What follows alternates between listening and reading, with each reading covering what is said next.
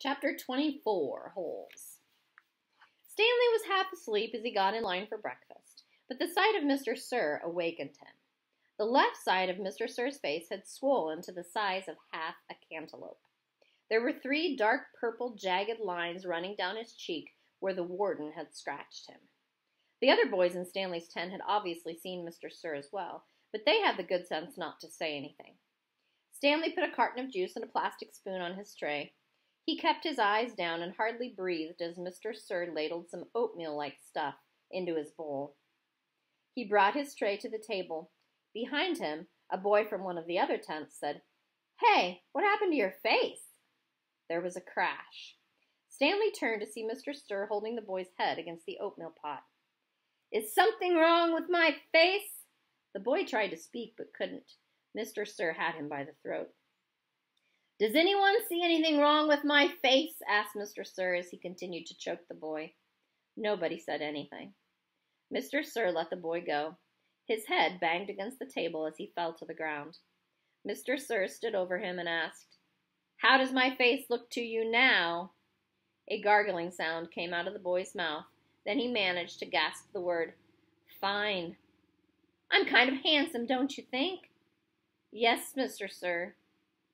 Out on the lake, the other boys asked Stanley what he knew about Mr. Sir's face, but he just shrugged and dug his hole. If he didn't talk about it, maybe it would go away. He worked as hard and as fast as he could, not trying to pace himself. He just wanted to get off the lake and away from Mr. Sir as soon as possible. Besides, he knew he'd get a break. Whenever you're ready, just let me know, Zero had said. The first time the water truck came, it was driven by Mr. Pendanski. The second time Mr. Sir was driving.